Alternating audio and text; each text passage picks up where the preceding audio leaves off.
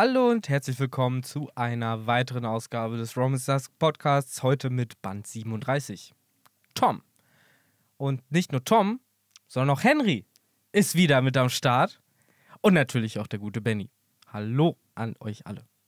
Ja, hallo, ich bin zurück aus Water 7, sozusagen. Gerade bevor die Aqua Laguna noch gestartet genau, hat. richtig. äh, und ja, hallo auch natürlich Benny. Hi Leute. Ja, schön, dass du wieder da bist, Henry. Danke. Danke. Ähm, hast du irgendwelche Erfahrungsberichte aus dem Real Life Äh, Water 7 mitgebracht? naja, es ist halt äh, schon cool, wenn man gerade wirklich hier in, in dem Thema ist, praktisch mit Water 7, so ein bisschen diese, ja, diese Vergleiche oder Rodas Inspiration aus Venedig äh, so ein bisschen dann vor Ort zu sehen. Ich fand das damals schon cool, als der zweite Assassin's Creed Teil rauskam. Der hat nämlich in Italien gespielt, in der Toskana. Und genau in dem Sommer waren wir da halt, also damals noch mit den Eltern halt, aber dann halt auch wirklich in so kleinen Dörfern. Ich glaube, San Gimignano oder so hieß das Dorf. Und das kam einfach auch in Assassin's Creed dann vor, in diesem zweiten Teil.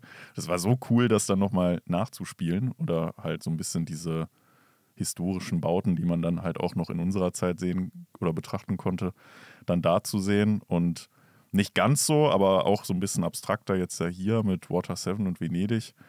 War schon cool, alleine so diese ganzen ähm, ne, Kanäle so oder halt auch wirklich, du hast an jeder Ecke hast du irgendwie diese Shops gehabt, wo du halt diese Masken kaufen konntest. Ah, Was ja hier in Water 7 auch äh, ein großer Faktor war aber tatsächlich. keine, keine Jagara Bulls. Nee, keine Bullenmasken, keine Bärenmasken, eher wirklich so, ja, so, so, so mehr so Phantom der Oper-mäßige Masken, ne? Oder halt diese typischen, äh, wie diese Ärzte mal rumliefen damals mit diesen die Krähen. Pestmasken. Genau, mit diesen Krähenmasken. Äh, sowas hast du ja ganz viel gehabt. Gab es eine Galera Company irgendwie, eine Firma, die Schiffe baut da oder Nee, das habe ich, hab ich nicht gesehen. Ähm, Ja, aber der Mietwagen, mit dem ihr gekommen seid, wäre fast auseinandergenommen worden von so Hooligans, die Ja, da genau. rumlaufen. ähm, ja, Yagara Bulls waren natürlich auch ganz normale, ähm, wie heißen sie? Gondoliers sind das, Gon oder? Gondeln, genau. Die, die Gondoliere sind ja die Leute, die dann da drauf Ja. stehen. Macht es nicht, kostet 80 Euro, falls ihr mal in. Venedig seid. Da paddel ich lieber selbst. Nee, es gibt halt auch so ganz normale motorbetriebene äh, Wassertaxen. Und die haben dann irgendwie, ich glaube, die kosten dann so, je nachdem, wo du hin willst, so drei bis neun Euro. Ich hätte jetzt gesagt, 80 ist halt schon krass. Ja, das ist richtig Also ich krass. hätte jetzt gesagt, so ja, okay, so 30. Ja. Okay, aber so 80, Ey, das ist ja schon. Das ist richtig krass. Haben wir auch nicht gemacht, äh, aber das machen trotzdem unfassbar viele. Mhm. Also Ja, klar, für die Experience Ist halt irgendwie ist so. auch fürs Instagram und so, ne? Ja, siehst genau. So, ah, der Typ steht da Ja, und ja. paddelt. Aber wie lang fährt man dann? Also ist es dann so eine Stunde? Ist das eine halbe? So? Gute Frage. Also du hast halt wirklich in diesem Zentrum von Venedig ja überall diese Kanäle und ich glaube nicht, dass er dann alle Kanäle mal abfährt, Mhm. aber so, ich, ich glaube, das ist so ein bisschen auf Zeit. Okay. Dann weiß ich nicht, eine halbe Stunde, aber genau weiß ich es nicht. Äh, und dann fährt er dich da halt da so ein bisschen rum und irgendwo lässt er dich dann halt wieder raus, wenn Singen die die Zeit vorbei ist.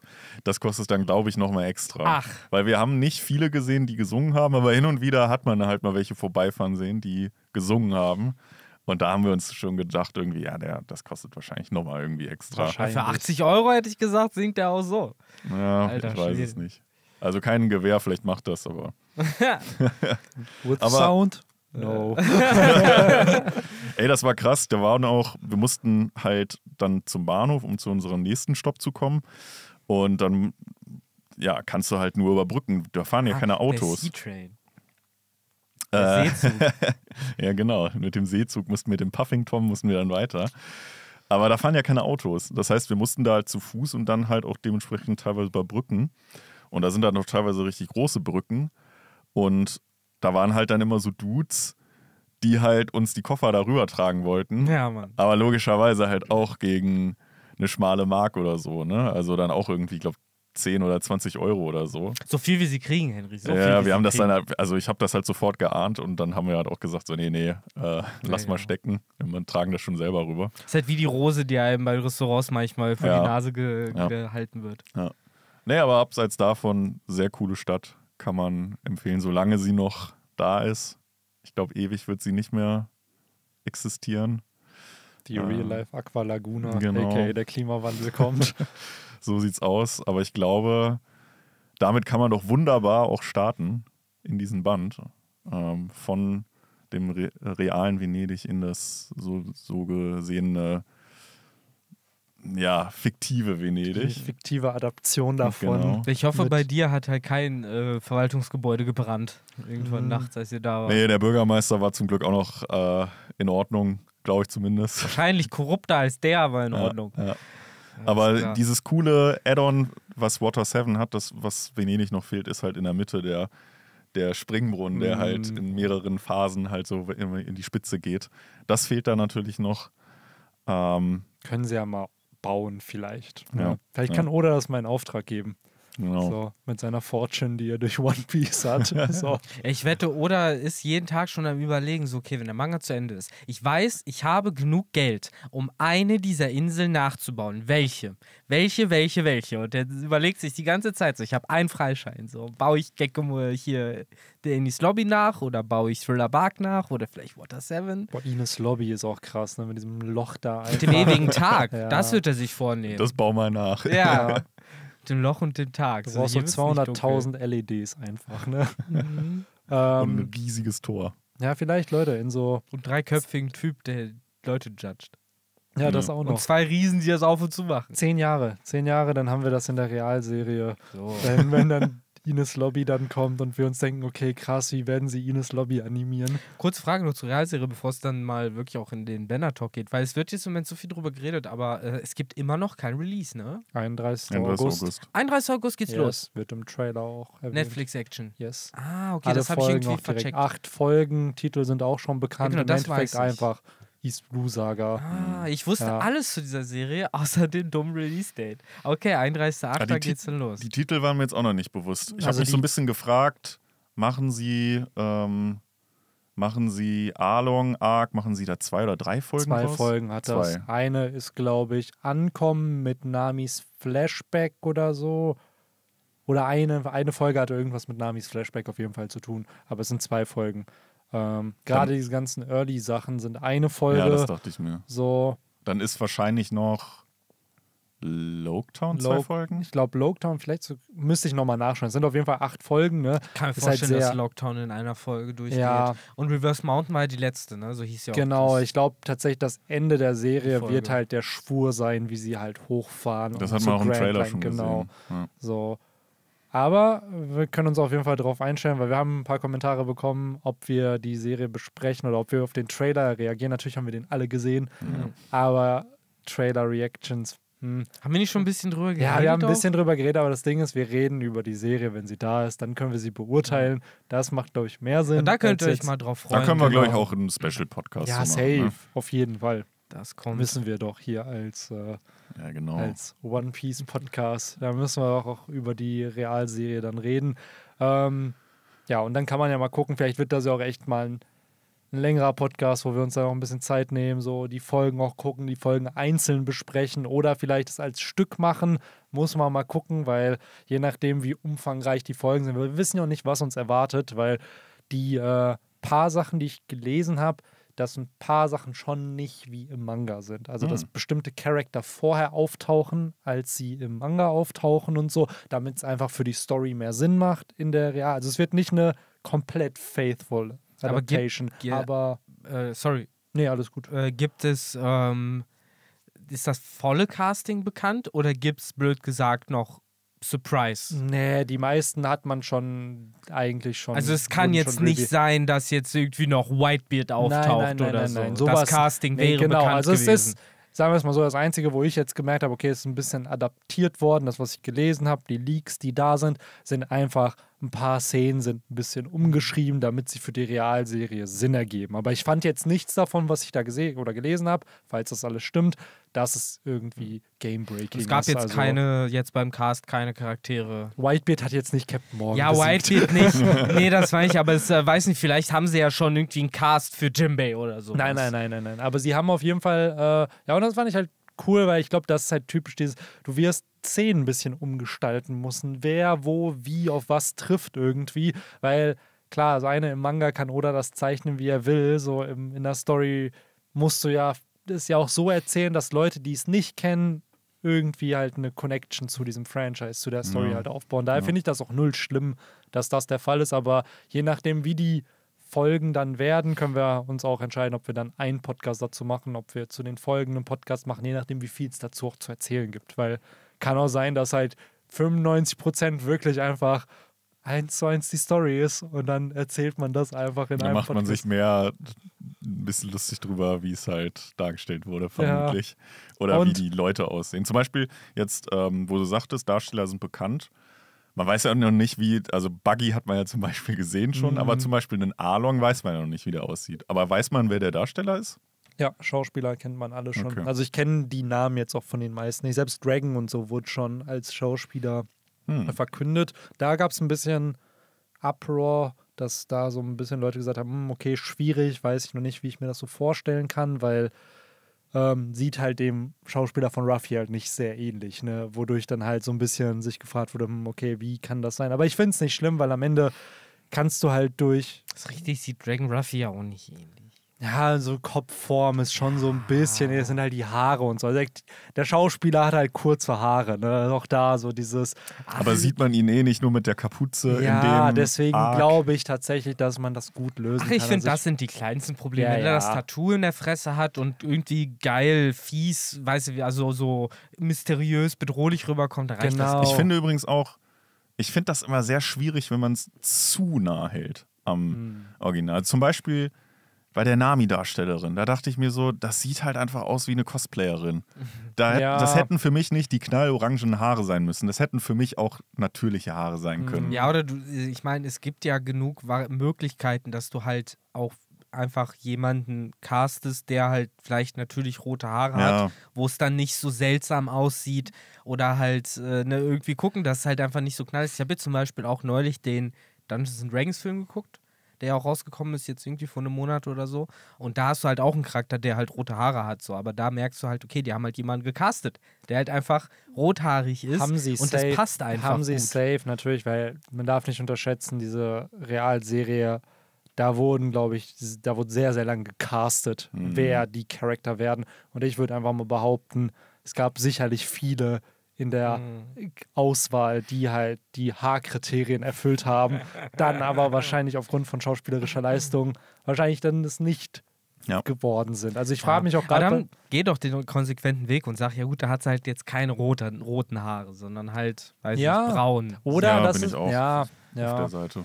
true that. Aber gut, dann gibt es halt andere, die dann, wie zum Beispiel jetzt bei dem Sanji, sagen, da fehlen mir aber die gekringelten Ja, Augenbrauen wo sind oder die? so. Ja. Ähm, ja, ich weiß nicht. Also ich äh, bin da auch bei dir, Henry, dass halt, es muss nicht dieses, es muss nicht eins zu eins das sein. Es muss die Essenz des Werkes irgendwo sein. Es Ja. muss in dieses Medium übertragen werden, weil das wird die größte Challenge, dass du den Vibe und die Goofiness und diese, das, was One Piece so ein bisschen auch ausmacht, die Motive in diese Serie halt reinbringt. Und wenn sie das kriegen, und ganz ehrlich, die englische Syn Synchro hat mich nicht gecatcht, die deutsche schon. Es wird, by the way, auch die japanische geben mit den Original Die habe ich ja auch schon gehört. ja. Ja, die fand ich auch So, ganz okay. Daher, ich glaube, man muss halt da so seinen Take finden. Also Ja. gerade wenn es einem auf Englisch nicht gefällt, dann auf Deutsch hören oder auf Japanisch dann halt, ne, dass man die richtige Experience halt bekommt. Ich meine, ja, mach die Augen zu und du guckst halt den Anime, ne? Ja,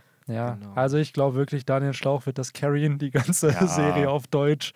Ähm, daher, ja, aber lasst uns jetzt doch so langsam nach Water 7 kommen. Ähm, zu dem, dem nahtlosen Übergang eigentlich vom letzten Band, ne, wo halt Ruffy durch die Wand bricht. Wir sind immer noch in der Galera Company ähm, und wir wissen jetzt, wer die Assassine sind. Ja. Yes. Ich habe, äh, ich wollte nur kurz nochmal anmerken, auch hier für unsere Zuhörerinnen und Zuhörer, ich habe mir extra die Mühe gemacht und auch den Band, obwohl ich ja letzte Woche leider nicht dabei war, ihn auch zu lesen, weil es auch einfach so ein geiler Arc ist. Es, es macht einfach Spaß, den zu lesen. Es ist so spannend. Ähm, und alleine diesen Reveal von den vier äh, Impostern, so to say, äh, den wollte ich mir halt auch nicht entgehen lassen. Der war ja schon im letzten Band. Oh ja, das, wo du sagst, wenn dieser, äh, wenn dieser Arc vor, sag ich mal, drei, vier Jahren rausgekommen wäre, wo diese ganze Among Us-Scheiße ganz oben war, dann wäre alles voll, voller Memes. Sass. So, Mhm. Sass, Sass, alles Sass. Um Ja, Gottes dann, Willen. dann wären halt garantiert die, die Bilder, wo sie, also hier Lucky und Co. halt in ihren Verkleidungen da stehen, wären dann wahrscheinlich einfach so richtig schlecht gefotoshoppt, wo dann diese Among Us Ja, Viecher so Raumanzüge. drauf, genau. Oh, Scheiße. Aber ja, tatsächlich äh, fand ich äh, oder fanden wir äh, ja auch, dass es eine ziemlich gute Staffel war und gerade auch letztes Band hat einen ja nochmal äh, gut angefixt, finde ich, mit dem äh, Finale, wo dann ja der Angriff auf das Gebäude war und da ja auch schon der Reveal sich langsam angedeu angedeutet hat und jetzt äh, haben wir halt den Salat und die vier Imposter und das macht oder hier halt, finde ich gerne, ich, ich habe ja schon öfter darüber geredet, dass ich zum Beispiel auch die Frankie-Bande nicht so nett fand in den ersten Bänden. Und hier macht halt Oda auch diesen kompletten 180, so, wo ich mir in diesen Mangas vom Jahre, in diesen Jahren immer halt frage, so wie believable finde ich das? Weil für mich geht das in die Richtung von Tobi, äh, der damals auf einmal böse wurde bei Naruto. So, der halt Mhm. vorher so ein, so ein kindlicher, dummer Charakter war und auf einmal angefangen mit einer dunklen Stimme zu reden und äh, irgendwie den Untergang der Welt zu planen. Und äh, ich habe hier so ähnliche Vibes gehabt, so als dann auf einmal Kaku, Luki und so da ja die Seiten gewechselt haben. Ähm, wo ich mir denke, heutzutage, ich sag nicht, dass das scheiße ist oder so, aber heutzutage würde das, glaube ich, anders gemacht werden. So. Heutzutage würde man das, glaube ich, ein bisschen anders Aber was genau äh, gefällt dir aufbauen. denn du nicht? hast halt zum Beispiel diesen Kanjuro-Reveal, der halt deutlich, äh, wie soll man sagen, auf ein höheres Podest von Oda gestellt wurde, zum Beispiel, der halt nicht innerhalb von einem Band stattfand, sondern ja innerhalb von mehreren Staffeln.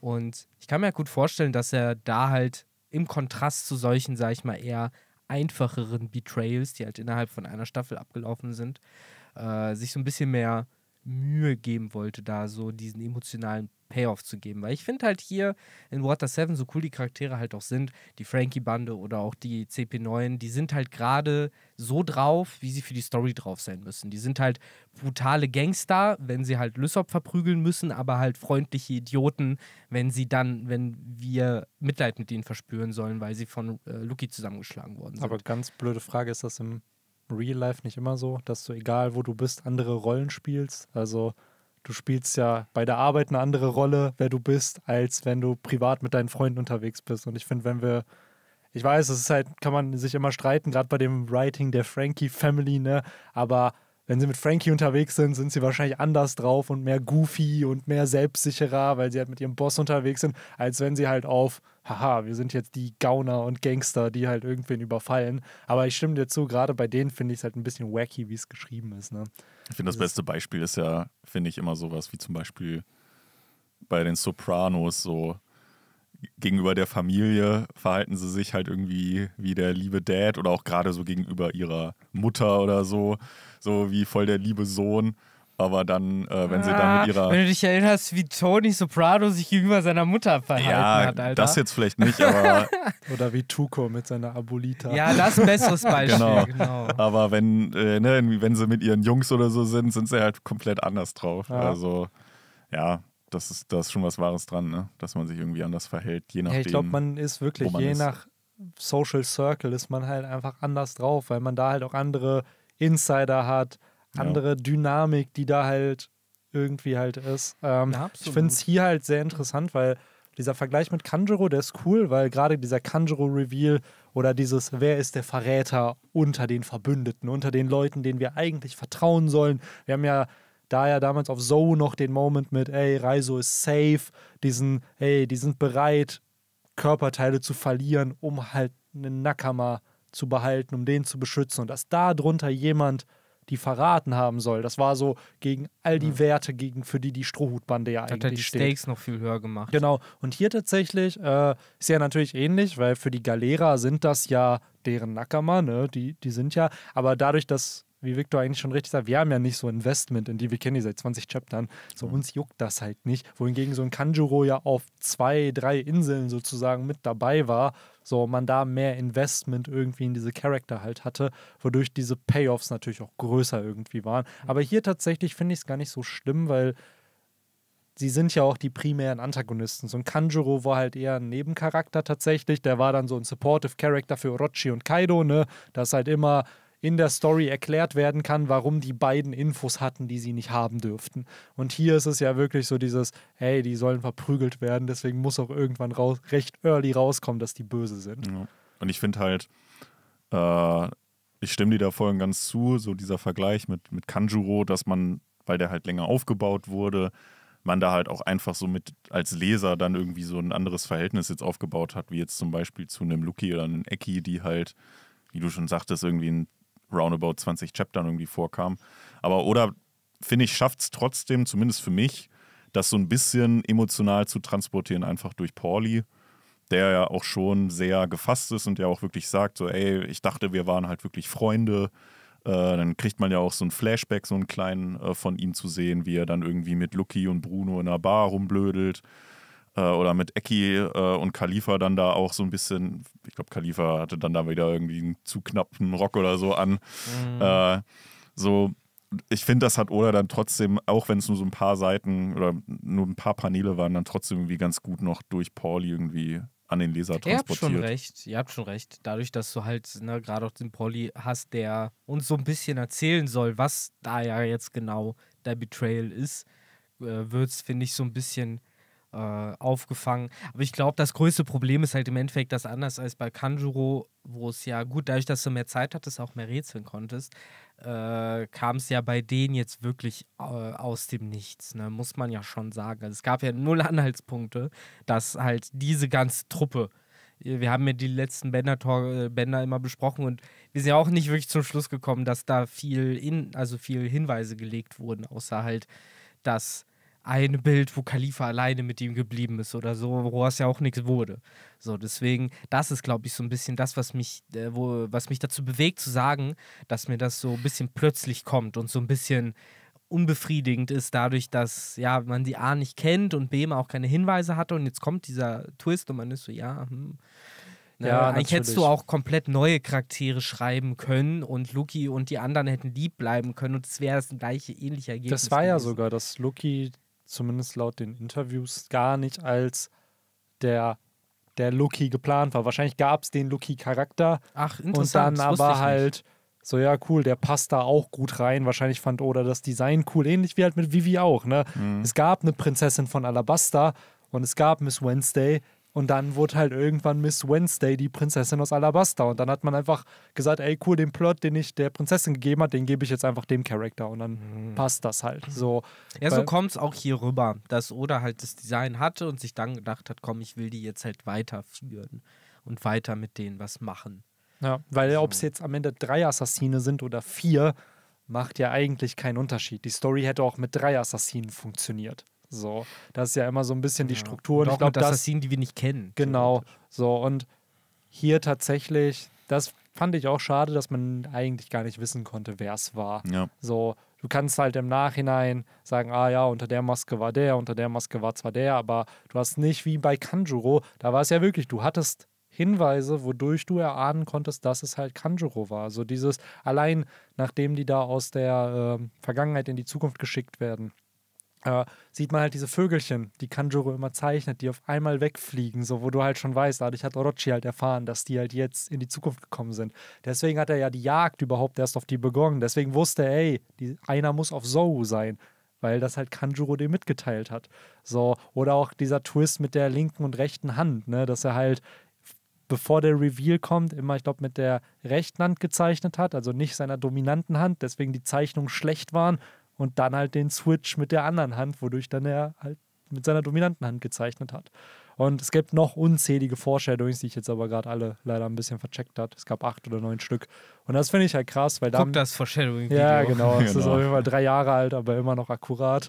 Ähm, das ist ja genau das. So, da konntest du rätseln und da hat am, im Nachhinein alles Sinn ergeben. Ah ja, klar war es Kanjuro. So, und hier fehlt das halt ein bisschen. Und ich glaube, das ist halt so ein bisschen das was eigentlich in das Genre gehört, weil dieses Murder-Mystery, du sollst ja aller Detektiv Conan äh, immer rumrätseln und gucken, ah, ist es er oder ist es er? Und ja. im Best Case, wenn es wirklich überragend geschrieben ist, dann solltest du durch die Hinweise, die du hast, vielleicht selber vorher drauf kommen. Was sehr, sehr schwierig natürlich ist, aber. Ja, es, es fehlen halt wirklich die Hinweise, weil ich weiß nicht, ob ihr es genauso gemacht habt, aber ich habe halt auch einfach in diesen letzten drei Bänden probiert halt irgendwie zu zwischen den Zeilen zu lesen, was jetzt ein Ecki sagt oder ein, ein Loki. Okay, ich glaube, einen Hinweis hatten wir so ein bisschen, dass ja, die da Ecki, ne? genau, dass die da irgendwie die Weltregierung so ein bisschen verteidigen. Aber da ist dann vielleicht auch ein bisschen zu viel reininterpretiert. Aber ansonsten gab es die halt einfach nicht, diese Hinweise. Ja. Und ich finde auch gerade im Kontrast zu Detektiv Conan, da war ja auch immer so der große Hebel, nicht nur, dass du mitraten konntest, sondern ja auch, dass der Täter oder die Täterin war ja oft auch eine emotional aufgeladene Figur. Es war dann oft so, was? Der oder die? Aber nein, das ist doch so eine nette Figur eigentlich. So. Mr. Sakamoto. Ja, so dieses klassische, so, nein, was? So, aber das ist doch eigentlich der, der die ganze Zeit äh, im Waisenhaus freiwillig gearbeitet hat. Er hat den Typen getötet, der das Waisenhaus äh, äh, hier schließen wollte. No way! Vorher oft waren das immer irgendwelche. Irgendwelche unglücklich verliebten Dudes, die dann immer so, ah, er hat sie so scheiße behandelt. Mhm, dass oder sie so. Selbstmord begangen hat, genau. So, und dann, ja, vor drei, vor zehn Jahren, so, dann gab es diesen Autounfall. So, bla, und genau, aber da hast du halt wenigstens irgendwie eine Backstory, die dem Ganzen da noch Gewicht gibt. Und hier hast du halt diese Charaktere, die wir halt nicht wirklich kennen, die jetzt auch nur dadurch halt Wert gewinnen, dass Pauli halt mit denen eine Beziehung hat, aber Ruffy gibt keinen Fick, so, der Rest der Strohbande gibt nicht wirklich einen Fick und wir kennen die halt auch nicht so. Deswegen, ja, ist es halt so ein bisschen cheap, aber mein Gott, wie gesagt, wir müssen uns überlegen, in welchem Jahr wir uns hier befinden und das ist halt so ein klassischer Shonen Das war Trope. Peak Shonen Jump Ja, ja, genau. damals. Wie gesagt, Tobi äh, bei Naruto war halt ja genau das gleiche Spiel, halt auch ein Charakter, der halt einfach einen 180er macht. Aber gab es da im Plot eine Erklärung gab. dafür? Weil ich kann mich an die Szene halt auch erinnern, aber ich bin da jetzt natürlich nicht so in Naruto drin wie ihr beide. War das, Das- dann. Dass sich Obito so trottelig als Tobi verhalten Ja, hat. genau. War das. Der Das hat Kern- ja in dem Moment aufgehört, in dem Dedera gestorben ist. Dedera ist gestorben. Das war ja der Typ. äh, Tobis Story ist ja, nachdem Sasori getötet wurde, wurde Tobi Dederas neuer Partner. Und die haben zusammen rumgehangen und hatten auch so ein bisschen so ein Buddy. Dynamik, so Dedera der Ältere, dem es ein bisschen auf den Sack ging, was Tobi macht, der ihn aber auch ein bisschen beschützen wollte und halt ja auch ne, bei dieser Explosion, glaube ich, auch sowas gesagt hat, wie lauf weg, so, ne, ver versteck dich, so nach dem Motto. Und dann ist er gestorben und dann kam der 180, dass dann Tobi, Schrägstrich Obito, Akatsuki übernommen hat und dann ab dem Moment halt mehr oder weniger einen neuen Synchronsprecher gekriegt hat und halt äh, komplett böse war so und halt so richtig ohne Aufbau böse wurde so und das war so ein bisschen Er hat sich dann ja auch so, so, auf einmal so sofort Kisame dann auch äh, erkenntlich gezeigt. als ne? äh, hier wie heißt da äh, Mitsukage auch noch Ja. Kisame hat die Mitsukage genannt also halt so ein bisschen wie. Blaubarschbube, der dann einfach böse werden wollte. Ja, es kam wirklich so sehr aus dem Nichts. So. Da gab es Mhm. halt auch einen Nullaufbau. Und äh, das war halt so ein Ding der Zeit. Aber warum er sich dann letztendlich, ich sag mal, für die Identität entschieden hat, so so ein lustiger, trottliger Dude, das Ja, wurde nie wahrscheinlich, wirklich ja. erklärt. Wahrscheinlich, weil das halt sein Charakter, sein echter Charakter war, wie Ja. er ja als Obito eigentlich Mm. ist. Als Kind. Als Kind. So als früher, wo alles cool war, war er ja im Endeffekt der Naruto 2.0 oder 0.5. So, der hat es ja genauso verhalten. Deswegen passt es schon. So, aber wie gesagt, so ein bisschen dieser krasse, krasse Schnitt, der war so ein bisschen äh, aus dem Nichts. Ja, die Sache ist, ich glaube, alle wollten halt Soul Society von Bleach nachmachen in der Zeit. So, was ja so der, der Twist war. So, und das hat halt dann vielleicht bei manchen mehr oder weniger gut geklappt. Ja, oder generell diese ganzen Rescue-Arcs, die es dann halt gibt, ne? Ja, das ist So. dann genau nochmal was anderes. Das kommen, Da kommen wir hier nach dem Water 7 Arc halt hin, ne? Weil Robin sagt ja, ihr könnt mich mal alle hier an dem hier, der glänzt und da könnt ihr lecken. So, weil die hat keinen Bock mehr auf die Strohbande ne, und sagt, Ich glaube, will dadurch macht mitmachen. Oda ein bisschen dieses, dass wir invested sind, indem er Robin da reinschreibt. Ja. Ne? Das ist so dieses, ja, okay, die CP9 interessiert uns dann nicht so krass, zumindest jetzt noch nicht. Sie sind halt Mystery und oh, sie haben diese Formel 6 hier, die auch alle dann aufgezeigt werden, nochmal schön. Äh, dann wirklich, du hast dieses eine Chapter, wo einfach alles einmal eingesetzt wird, damit man weiß, ah, okay, das kann jeder von denen. Ne?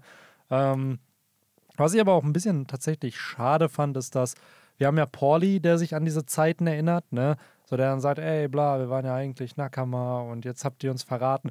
Das aber von der CP9, die sind ja wirklich alle eiskalt. Also keiner, ja, Bro, wir waren nicht Freunde. Das ist Außer halt- so ein bisschen Ka äh, so ein bisschen eckig. ecky, ja. ja, ein genau. bisschen, aber auch nicht so krass. Hat, also ich, nicht, meine, ich meine, an irgendeiner Stelle hat sich Eki so ein bisschen entschuldigt, glaube ich sogar. Nee, oder war, glaub ich- bedankt, bedankt für die schöne Zeit Ja. oder so. Ja, das geht, bei Eki geht, glaube ich, vieles so in diese Richtung von so, ey, ne, beweg dich einfach jetzt gerade nicht so, Ja. bevor Luki noch sadistisch wird. Ja, genau. So Lucky ist so komplett, Alter, wir, Also das alles Show, das war Show. Vielleicht, vielleicht äh, äh, verwechseln wir halt auch immer Ekis äh, Professionalität mit Nettigkeit. Ja, so, ich da glaub, wo er Eki- eigentlich nur so, ey Leute, so kein unnötiges Zerschnibbeln von Gegnern. Ich wollte gerade sagen, ich glaube, so ein Eki ist halt auch halt die ultimative Killermaschine der Weltregierung, aber der ist halt nicht so wie Lucky, wo es ja charakterisiert ist von, der liebt das Genau. richtig, der will das halt. Und ich glaube, Eki ist halt einfach Professor, hey komm, ich will dich nicht töten, weil wir es nicht müssen. Wir Du haben auch gleich Wir haben Feierabend. Feierabend, komm, bleib liegen, so, dann,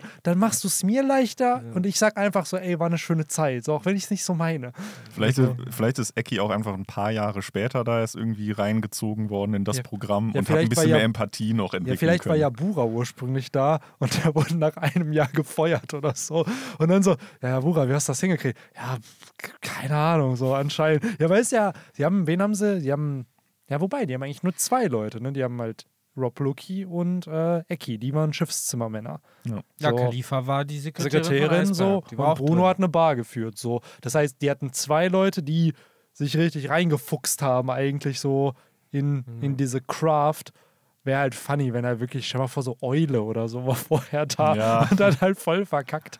So, und Wahrscheinlich haben sie sich bei dem gedacht, der, Dude sieht zu weird aus. Der sieht aus wie aus der Frankie Family. Ja. Den können wir jetzt hier nicht einschleusen.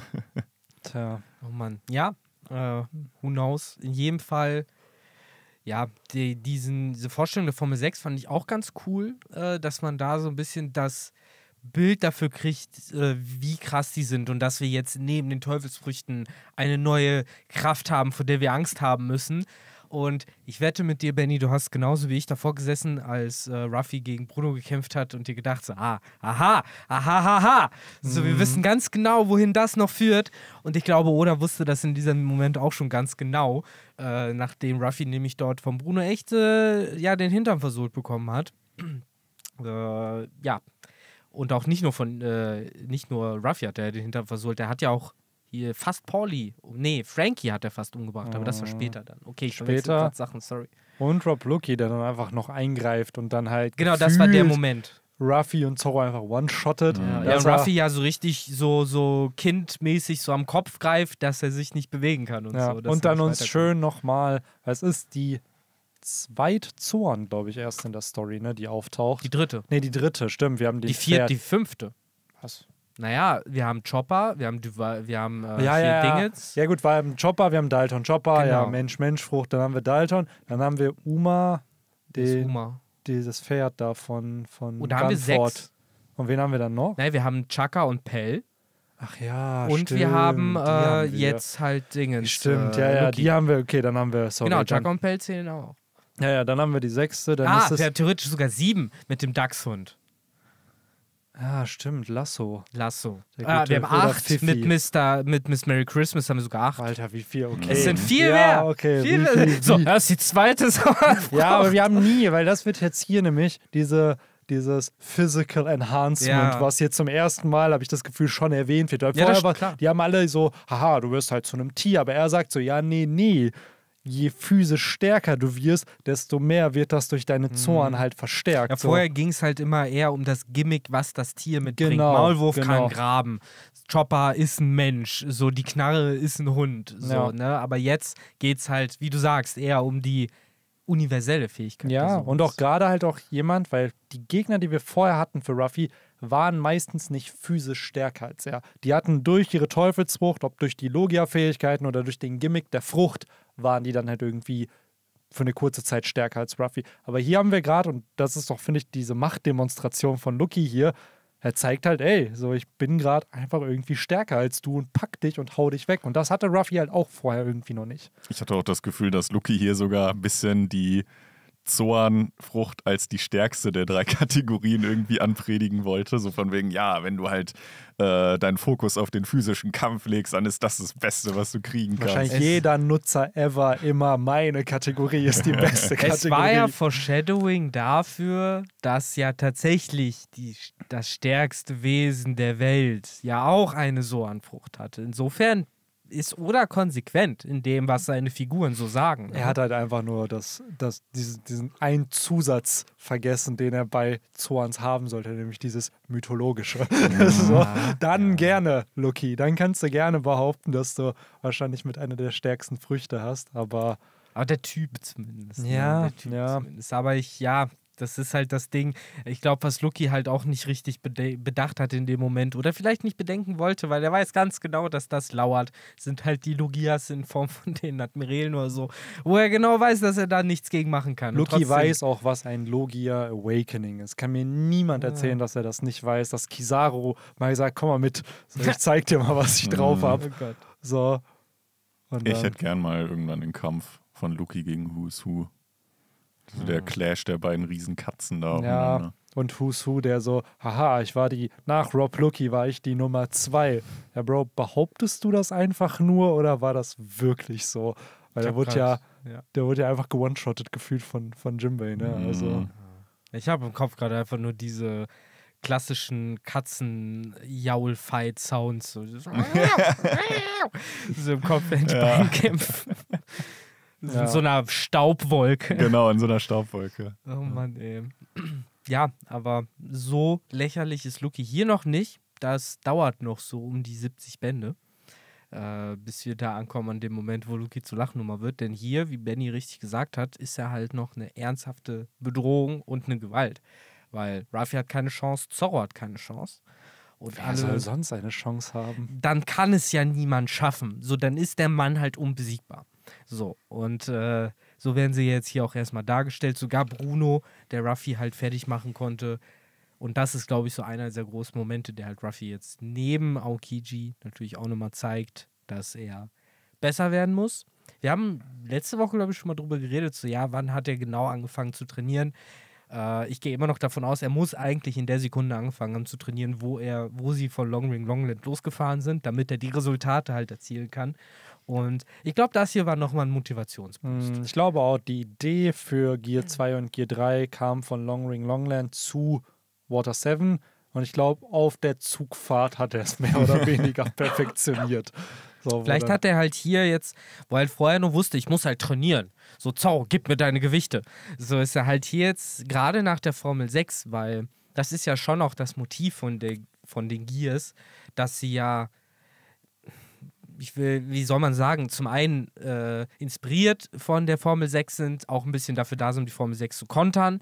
Und ich denke schon, dass dieses Aufeinandertreffen äh, für Ruffy halt auch nochmal so ein bisschen augenöffnend war, wo er vorher halt, ne, wie gesagt, einfach nur trainiert, ist er halt jetzt sich vielleicht ein bisschen sicher, was er eigentlich machen will so und was er jetzt für eine Technik vielleicht entwickeln will. Weil er weiß jetzt, ich muss mit der Geschwindigkeit mithalten und ich muss durch den Eisenpanzer kommen, den die machen. So, und das sind konkrete Ziele, die er jetzt halt vor Augen hat. Mhm. Weil wenn du vor Aokiji steht, hast du kein konkretes Ziel, wie du den Da aufhalten. Das helfen ist halt, auch nicht wie die willst neuen du den Formen. Winter aufhalten? Ja, ja. Da helfen auch die Formen halt einfach nicht, die du dann entwickelt hast. Ja. Ne? Aber wirklich. das an sich finde ich halt cool, gerade die Formel 6 irgendwie. Es hat ein sehr uniker Fighting-Style. Mhm. Und dass jeder aufzählen? das hat. Alle Ja, sechs? ja. Eisenpanzer, Ja. Fingerpistole, ja. Moonwalk oder der Skywalk, je nachdem, wie man ihn nennen will. Der, Drei. der Tempest-Kick, Der Orkankick. Orkankick. Ja. Orkan-Kick, Orkan-Kick. Ja. Die, hatte ich Fingerpistole schon? ja. Ja. Dann, Jetzt wird es nämlich knapp. naja, der, dieser Papierschnitt, wo die dann so zu Papier werden. Das ist so eine Ausweichtechnik, Genau. ne? Das. Ja, und dann Oh. Das wird auch am wenigsten eingesetzt, habe ich Ja. das Gefühl. Einmal wird- hier, ne? Ähm, Und eine Sache fehlt halt. noch. Ja, ich überlege gerade. Fingerpistole, Eisenpanzer, Tempest-Kick, also Orkan-Kick, Rasur, äh, Papierschnitt Ja. und ich hatte noch was. Ich glaube, du hast eben Rasur nicht gesagt. ja, du hast statt Rasur Moonwalk gesagt, so das gleiche. Ja, und nee, nee, nee. Nee, nee, Moonwalk, nee. Moonwalk ist Ach in so, die es sind Luft zwei gehen. Sachen. Moonwalk, dann habe ich sechs. Dann ist ah, Moonwalk. Jo, da haben wir sechs. Also in die Luft gehen und Rasur ist halt dieses Dragon Ball-mäßige Tschu, tschu, so dieses einfach. Ja, verstehe. Und das ist ja im Endeffekt, was Ruffy jetzt nachmacht. Ja, und das G2. Coole ist ja wirklich, dass Zorro den Orkan-Kick eigentlich mit seinen Schwertern lernt, Sanji den, den Skywalk ja dann halt hat, Ruffy lernt ja schon die Rasur, mehr oder weniger, ne, jetzt gegen Bruno später. Also, dass so ein bisschen so eigene Varianten von diesen Skills sich auch abgeschaut werden. Gute Idee eigentlich. Und eigentlich hat Ruffy diese Papiertechnik auch schon gegen Edel verwendet, als er seinen Kopf ausgemacht hat. Genau, das ist das. Also, Das da kann Ruffy auch schon. Ja, ah, es ist nicht schwer, das kann er. Das kann der Mann. Kopf ausmachen ist Ja, easy. und Eisenpanzer einfach äh, Rüstungshaki Light. Ja. So, Das ist die Budget-Variante. ja, Ne? Wahrscheinlich einfach nur Muskeln zusammenkneifen. wahrscheinlich, ey. Aber wer macht die, die Fingerpistole? Mm, Lucky. Nein, ich meine von den Strohhüten. Wer so. eignet sich Ah. das an? Jimbei. Jimbei. Ja, oder Frankie, wenn er dann halt irgendwann die 1000 Jahre Schmerztechnik anwendet bei den Leuten. Ja, Seine Fingerpistole in den Hintern. genau. Das ist das halt so ein Ding, das muss äh, Oda auch nochmal machen, ey, mit der Fingerpistole. Der Arschbohrer. Der Arschbruch. Ja, aber an sich, äh, hier, die fliegen dann ja weg. Dann haben wir, War es eigentlich, äh, sorry, äh, ich weiß jetzt gerade gar nicht mehr, ob es noch in diesem Band war oder schon im letzten noch, äh, wo Ruffy dann da feststeckt zwischen den Häusern. Das war im Das- letzten Band. Das war im letzten, ne? Ich dachte mir nur so, hä, das war doch im Anime viel länger. Natürlich war es im Anime länger. Fliegt er jetzt, wo er von Lucky weggeworfen wird, nochmal in so eine. Ja, zwischen eine Wand. zwischen so? eine Ja, Wand, okay. Nochmal? Er fliegt zwischen eine Wand. Weil ich hab Wo- das irgendwie er Im so- letzten Band zwischen. Weil ich der habe das Wand. noch voll im, Nein, im er Auge. war unter einer Brücke. Ich äh, weiß, Nee, er war im letzten Band zwischen Wo- Wo, eine er, wo, er, Million wo, wo er Prozent. war, er zwischen einer Wand. bevor, äh, als die halt äh, die Villa raiden wollten Ja. und er sich mit der Bazooka da rein äh, sch- schießen wollte, hat er verfehlt und ist zwischen der Wand stecken Ja, genau. geblieben. Ich hab's ja das heute hat noch ja gelesen. überhaupt erst äh, Pauli die Möglichkeit gegeben, von Lucky fertig gemacht zu werden. Und Ruffy kommt dann ja rein und Pauli ist ja schon am Arsch. ah, okay. Aber hier fliegt er auf jeden Fall nochmal zwischen eine Wand. Und Nochmal zwischen eine Ja, Wand. genau. Ja, weil ich habe das noch Zorro voll vor Augen vom Anime, wo er, wie er da so feststand und diese Aqua Laguna dann irgendwann kam Ja, das ist Ja, das zweite Mal. genau. und Nami da irgendwie in weiter Ferne so voll im Rumheulen, irgendwie Ruffy, wir brauchen dich. Genau, bla, und bla. dann Nami- haut er die Häuser. Nami Ja. ist ja jetzt von den äh, Bewohnern äh, erstmal gepackt worden. So, die halt sagen, hey, die soll uns jetzt sagen, Mhm. wo äh, der Rest ihrer Crew ist. Ne? Während nämlich die CP9 auch sehr effizient, äh, die jetzt direkt die nächste Spur verfolgen und jetzt wissen, sie müssen halt Kati Fram, äh, alias Frankie, finden. Und äh, wissen auch schon und finden auch schon die Leute, die ihnen das verraten sollen. Ne? Ist auch eine coole Szene irgendwie, wie Luki dann so auch ziemlich creepy. So aus dem Nichts, so aus dieser Nacht rauskommen mit dieser Papiermaske. Dann so, was? Wer hat wen wohin gebracht? Mhm. So, und dann, äh, ja, war es halt auch schon um die Frankie-Bande geschehen, die dann äh, massakriert worden sind. Ja, tatsächlich auch die Frage wurde beantwortet, die ich im letzten Band gestellt habe, ob man noch sieht, wie Frankie oder die Frankie Family halt Lissop entführt und das Schiff, aber nee, die sind dann wirklich einfach nur da. Also es Mhm. wird gesagt, wir müssen uns den holen und dann nächster Shot, sie haben ihn Sie schon an haben dem ihn Ort. und rufen ja jetzt Inklusive einfach des Schiffs, ne? also. Genau, sogar, ne? und dem Schiff halt auch. Und wir hatten es, glaube ich, schon vor zwei Bänden irgendwie gesagt, als wir das Ganze mit dem Dekonstruieren, Rekonstruieren besprochen haben, ne, mit was die Frankie Family ist und was die Galera Company ist, dass halt hier Frankie der ist, der Lissop dieses Problem nochmal ja auch aufzeigt ne, und sagt, ey, der Kiel, der ist kaputt und Lissop, der dann so, ich wusste schon die ganze Zeit. Mhm. Und äh, dadurch, ja. Ja. Er wurde Dadurch ja kommt dann der coole äh, Talk mit über den Klabautermann Ja, auch genau. zustande. Ja, das war dann wieder so der Moment, wo ich sag so, ah, so deshalb ist das alles so tragisch gewesen. So war es ja wirklich eine schöne, ja, wieder so eine schöne oder mäßige Märchengeschichte, so von diesem Schiff, was halt einfach so unfassbar loyal ist, ne? Und dann noch, so, ja, ich trage euch noch ein bisschen länger weiter. Das Und, klingt wie ja. eine Lügengeschichte eigentlich von Lissop, Mhm. die aber nicht eine Geschichte von ihm ist, sondern es ist halt wirklich passiert, ne? Ja, so wie so der Geist des Schiffs. sofort. Ja. Ich finde auch lustig, wie Frankie, äh, wie Lysop auch immer wieder denkt, dass äh, Frankie ihn verarscht, wenn er da äh, seine äh, Gitarre rausholt, um Lied zu spielen. Aber wir wissen ja mittlerweile, so dadurch, wie er ist, dass ihn das ja wirklich berührt. Ne? Auch sowas wie die Senior Pink-Geschichte später oder sowas. So, der ist ja einfach so ein unfassbar sensibler Softie, der halt äh, ja den Blues in sich trägt, sage ich mal. Und das äh, Lysop das hier halt so missversteht, so nach dem Motto, ja, du verarscht mich hier doch nur. So für Ich sag's dir Frankie. jetzt schon. Der fühlt das, der fühlt Senior Lysop. Pink wird in dieser Hütte leben. Nach, am Ende der Story. Ja, das kann der zieht sein. nach Water 7. Ja. So, und Ja. dann sagt er, ey, komm, hier, ich habe noch ein kleines Örtchen, wo du ein Zimmer haben kannst. Ja, die- Brunos Bar braucht ja auch neue Besucher, Ja, genau, auch wenn Bruno vielleicht nicht mehr da führt ist. der die Bar Ja. weiter. das wird die Bar sein, wo Oder die sich es alle kommt treffen. wirklich am Ende, Bruno kommt einfach zurück. So, und da juckt es dann niemanden, dass er es war. Ja, mittlerweile Ja. wird er da sich einfach auch wieder als Barmann niederlassen, Ja. glaube ich. Ja, ja, so wie der im Moment drauf ist. da hat er einfach so einen Ja. Schnauzer, damit man ihn halt nicht erkennt. Was? Ich bin nicht Bruno, ich bin Blueno.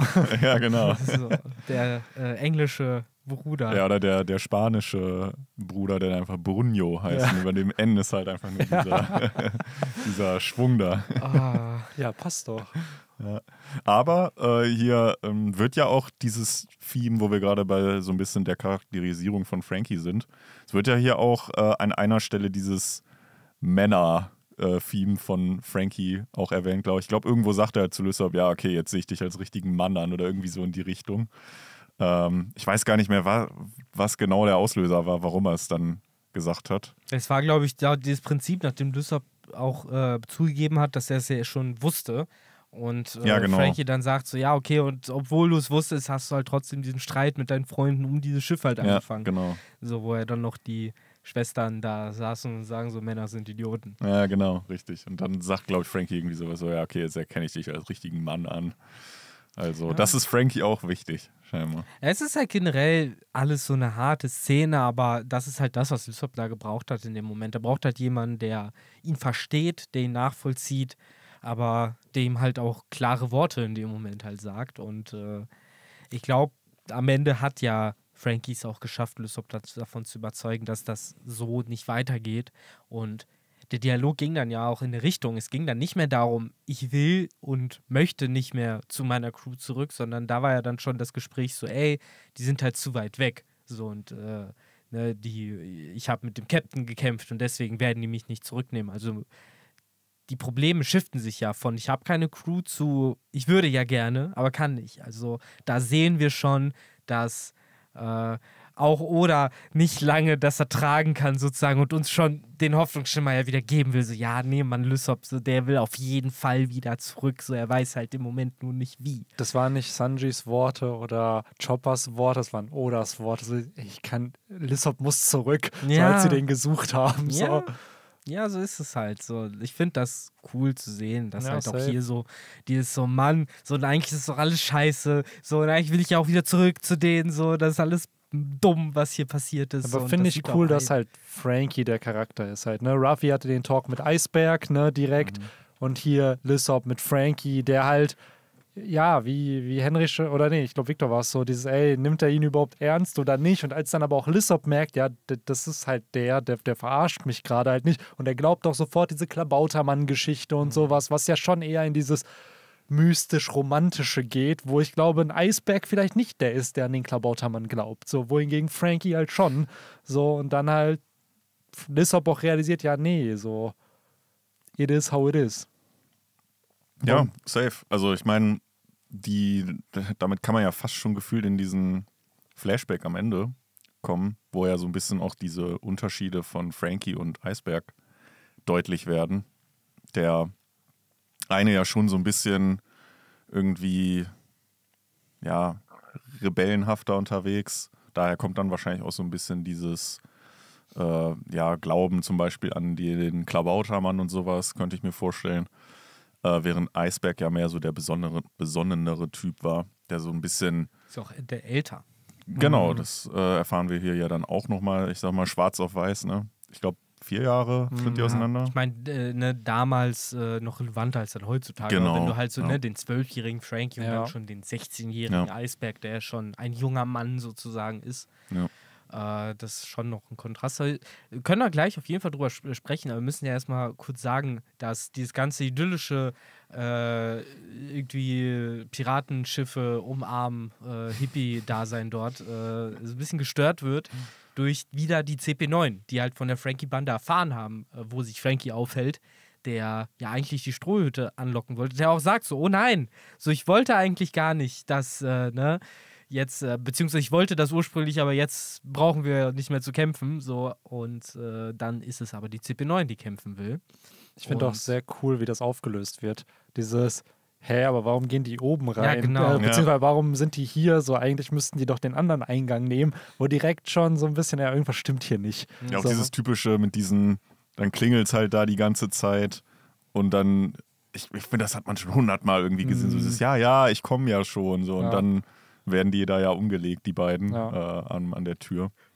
Nur im Vergleich zu anderen Werken, die überleben natürlich hier. Meistens wird da irgendwer an der Tür erschossen. Ja, oder Genickbruch Ja. oder Messerstiche. Oder, Oder ganz special, finde ich, Terminator 2, wo äh, das, das war ich mit dem Telefonat dann und dann, äh, wo ja der Ter hier Schwarzenegger dann halt die Stimme verstellt und John Connor so spielt, so dieses, ja, bla bla bla. Also, ah, das ist meine Mom. Und dann, ja, ey, dann sagt die irgendwas, ey, machst du das und das? Nein, das, das, das kenne ich nicht. Deine Eltern sind, deine Pflegeeltern sind tot. so, so, weil die anderen, die haben halt beide sozusagen den jeweils anderen Charakter halt dann eingenommen. So. Und das fand ich halt auch cool, wo du dann auch so merkst, ah, interesting. Hm. So, wenn man bedenkt, wann war das? 91 oder so? Ist ja wahrscheinlich schon ein Twist, der heute natürlich gang und gäbe ist. So dieses, ey, wir müssen überprüfen, ob das wirklich deine Eltern sind oder nicht ein Shapeshifter, der, der das Naja. angenommen hat.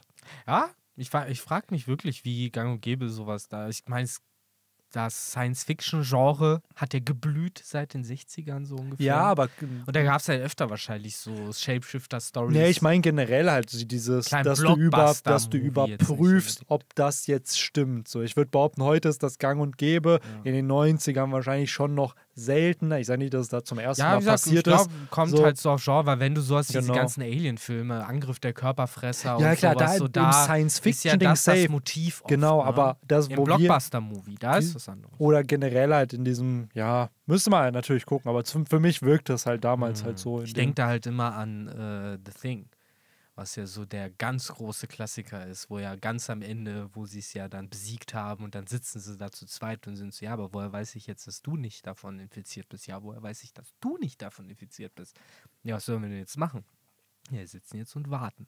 So, und damit endet der Film. Ich finde das bis heute immer noch ein mega creepy Ende. Ja, aber das ist halt ein gutes Ende. Das ist ja, stellt sich halt genau die Fragen, die sich wahrscheinlich das Publikum halt auch stellt, ne? Und dann werden die halt aufgegriffen.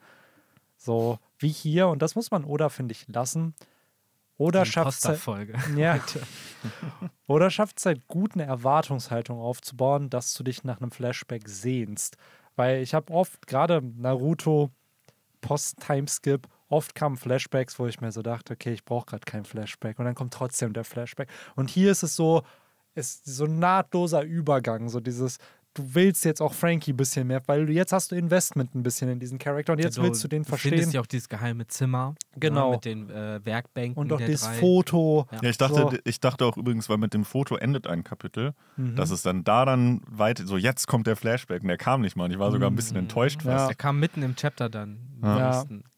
Aber das Bild bietet sich halt richtig als auslösendes Ereignis Mhm. für diesen Flashback halt an. Ne? Auf jeden Fall. Ja, das fand ich aber trotzdem irgendwie cool gemacht. Und wie der richtig sagt, so, ich finde, da kriegt man dann Lust auch richtig drauf, weil so langsam verdichtet sich ja dieses ganze Mysterium. So, hä, was hat Iceberg jetzt mit Frankie zu tun? Was war diese Company, wo die früher gemeinsam gearbeitet haben? Was für Pläne für irgendein Schiff haben die? Wo sind die jetzt wirklich und wieso haben die die? Und äh, Wer ist Tom? wer ist genau, wer ist eigentlich dieser Tom? Und das alles wird ja hier dann in dem Flashback äh, so ein bisschen aufgegriffen. Und ich bin erstaunt, wie wenig Screentime Tom bekommt, wo er nicht verletzt ist. So, weil dieser Mann wird leider sehr, sehr schnell verletzt und bleibt dann verletzt mit seiner dummen Harpune durch, de, durch den Bauch. So, hast du ja hier ein paar Chapter wirklich friedlich, aber dann für den Rest ja komplett abgefuckt. Leider. Safe. Aber ich finde es so schön, weil der Charakter taucht so wenig auf, hinterlässt aber schon, finde ich, einen starken Impact. So wie es halt häufig diese Flashback-Charaktere, die Mentorenfiguren halt für, für die Strohhüte halt tun. Die haben dann ein paar Chapter, vier, fünf Chapter, aber es prägt sich so richtig ein, dass du halt verstehst, warum der Charakter aus der Gegenwart so tickt, wie er tickt. Mhm. Und ich finde, Tom ist da so dieses Paradebeispiel, weil sein Inherited Will nicht nur, finde ich, bei Frankie sich auslebt, sondern Frankie im Zug, dann aber wahrscheinlich erst im nächsten Band, diesen Inherited Will auch an Robin mehr oder weniger weitergibt. Weil es geht ja immer wieder um diese Frage, zu dieses, ey, ist es schlimm, wenn etwas nur existiert? So, es, ist, es, es gibt kein Gut und Böse, nur weil Mhm. etwas da ist, sondern es ist immer, wie was verwendet wird. Und Robin, die sich ja auch immer wieder sagt, ey, meine Existenz ist ein Verbrechen und ein Frankie, der ihr dann halt sagen muss, so, nee, Mann, nur weil du existierst, ist ja nicht schlimm. So, und bei Frankie und seinem Battle Frankie ist ja dasselbe, wo Du wir hast dann absolut recht. Da, da hat er ja überhaupt dieses Denken her. Ne? Genau. Ja, da sieht man wieder, ich habe das halt damals nicht so richtig gelesen, aber du hast absolut recht. Hier ist das große Motiv, ist halt, ne, alles hat eine Daseinsberechtigung, so, ne? Darfst es halt nur nicht äh, zweckentfremden. Genau. Und Robin ist ja genau das. Genau, und Ja. plus die antiken Waffen. Es ist ja eigentlich eine Metapher für die antiken Waffen, sodass dieses, sie werden gelabelt als Waffen.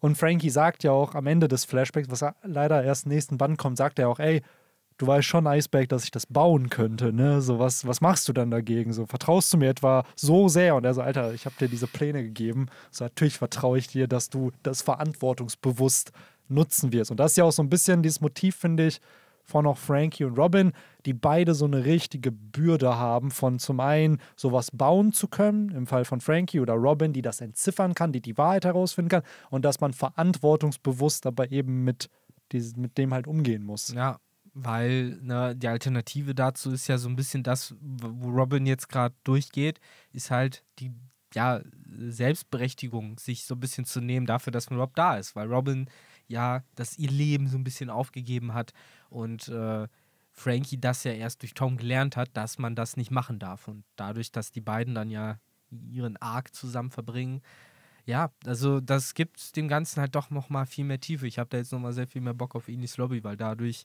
durch diese ganze Motivik wird mir noch einiges so ein bisschen klarer, wie diese Figuren eigentlich funktioniert haben. Hm.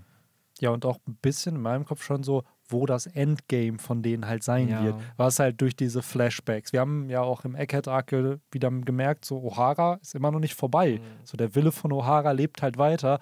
Und auch in dem Fall jetzt halt, dass die Werte, die, die Tom vermittelt, leben halt weiter. So und lassen sich auf sehr viel übertragen. Und ich finde gerade Robins Flashback und Frankies Flashback irgendwie noch mehr als der von anderen. So, weil so Sanjis, ja, dieses, man soll irgendwie Essen nicht verschwenden und so, das ist halt eine schöne Lek Lektion, ne? So dieses, man soll so, wenn man gemeinsam einen Traum hat, dann ist es egal, woher man kommt, ne? man, das connectet ein. Aber ich finde dieses, das ist so Real Life, was man so ein bisschen draus ziehen kann bei, bei den beiden. So. Hm. Ja, äh, ich, ich fand hier noch so, was hier fast schon so ein bisschen nebensächlich eigentlich erwähnt wurde, aber doch auch irgendwie interessant, weil das immer so ein, so ein Fakt ist, den ich eigentlich ja für mich so ein bisschen auch einfach verdrängt habe, dass Frankies wahre Eltern, die kennt man ja gar nicht. Der wird ja einfach hier abgeworfen, so to say. Ähm, ich meine, dass wir wissen, dass äh, die Blutlinie nicht wichtig ist, das wissen wir ja durch jeden Strohhut und auch generell äh, durch viele Charaktere bei One Piece.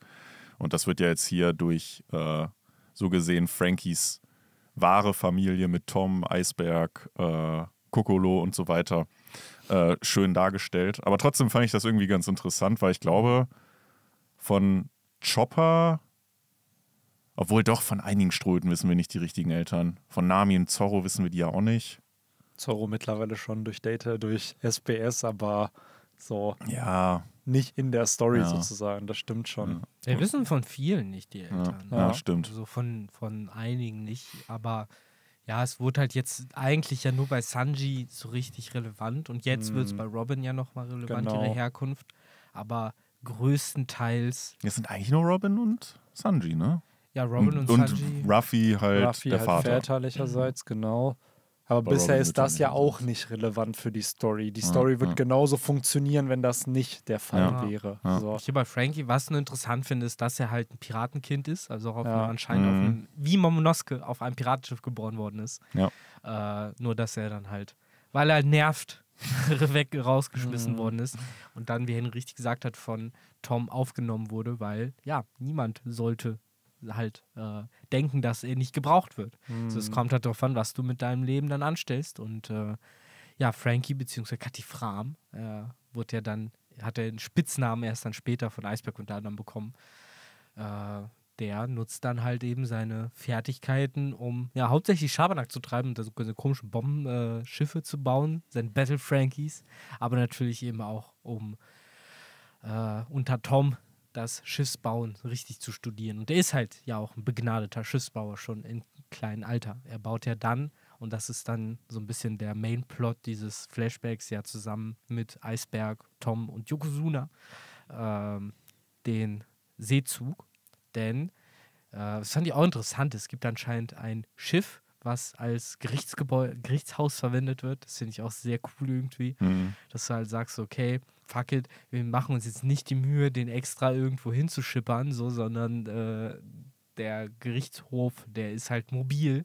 So ein bisschen wie der König damals im Mittelalter mobil war und halt diese ganzen äh, Pfalz, Pfalzen hatte und äh, dann je nachdem, wie gerade die Jahreszeit war, war er dann gerade irgendwie dort oder dort oder dort, so, weil er halt nie an einem Ort gewesen ist.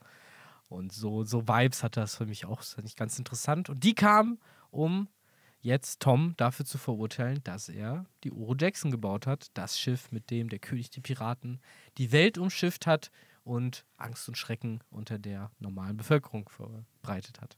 Mhm. Ja, es, es war ja auch dann da so ein bisschen, das fand ich ganz interessant, dass ja, normalerweise werden die Leute, selbst wenn die irgendwie für Piratenschiffe bauen, werden die da nicht extra verurteilt, aber weil halt Roger so einen riesen Impact hatte, äh, konnte man das äh, dem lieben Tom halt nicht durchgehen lassen.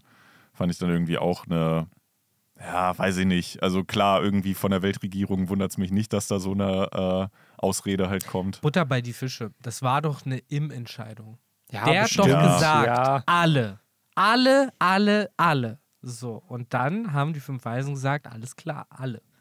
Ja. Und seitdem, wahrscheinlich werden immer noch Leute gesucht. So, man hat es ja bei Ace gesehen, es war ein ganz großes Thema. Ne? Natürlich, ne? guck dir Ace an, die ganze Story davon, dass halt die Frau und das Kind halt beide umgebracht werden sollen. Ne? Aber damals schien es noch nicht die äh, Mother Frame, wie ich jetzt vor dem mm. Podcast gehört habe, äh, gelernt habe. Scheinbar gab es die damals noch nicht, weil, wie wir hier auch erfahren, war Water 7 ja eigentlich ein, äh, ein ziemlich abgeranztes Kaff mittlerweile, wo eigentlich die Leute am Verzweifeln waren. Von daher hätte man ja auch eigentlich die Insel samt Tom ausradieren können ja, und keiner hätte gejuckt. Aber das ist es halt, ne? Dann wurde halt gesagt, ey, ich fand generell die Auflösung irgendwie cool, weil ja wirklich Tom auch äh, gegambelt hat. Ne? So dieses, haha, ich kann die alle Probleme lösen. Ich habe nämlich hier was gezeichnet, was wir umsetzen könnten. Und dann dieses, würde es auch bis nach, war es sogar Ines Lobby, glaube ich, ne, komm. Oder so, ja, selbst das könnte ich. Und dann so, okay, klopf, klopf, klopf. so, dann ja, hast du sieht, noch. Ich finde das ganz cool. Man sieht halt, dass dem Richter am Ende des Tages dann halt auch nicht so wichtig ist, halt das Urteil durchzuziehen, hm. sondern der denkt sich halt, ja, Alter, so, ich wäre ja dumm, so, wenn ich den jetzt halt exekutieren lassen Natürlich. würde, weil der kann ja der Gesellschaft doch richtig viel helfen. Ja, auch einfach, dass das so easy ist. Ja, hier, Richter. zehn Jahre für dich, so viel Spaß beim Bauen. So, ja, und danach war es ja wirklich dieses so, so wie ich das verstanden habe, er war ja dann nach zehn Jahren fertig mhm. und dann sind ja noch drei Jahre vergangen bis dann der Moment kam, wo die zweite Gerichtsverhandlung stattfinden Ich glaube, dazwischen waren doch noch dann das andere Häf, also gebaut wurden. Ist nicht ah. das erste nur für, dass die, ja, genau. dass der Zug funktioniert, so. dass er eine Strecke Stimmt, fertig musst, war. Du musst ja dann noch die anderen. Genau, und dann hat er die anderen Strecken noch gebaut. Also die zehn Jahre waren so als Test, ja, ja. funktioniert die Idee halt Aber überhaupt. Aber es hat halt schon gezeigt, okay, die nehmen es jetzt auch nicht mehr so nee, wichtig null. und ob jetzt noch ein Jahr oder zwei Jahre oder drei Jahre mehr ist nicht mehr so wichtig. Aber ich finde es cool, wie das hier halt aufgebaut wird, weil das Motiv ist ja dieses, ey, du sollst proud sein auf das, was du mhm. gebaut hast. Ne? Und wir erfahren ja im Flashback, er hat schon was gebaut, wofür er ja eigentlich getötet werden soll. Und dann baut er hier aber wieder was sozusagen, nämlich die Puffing Tom sozusagen. Ne?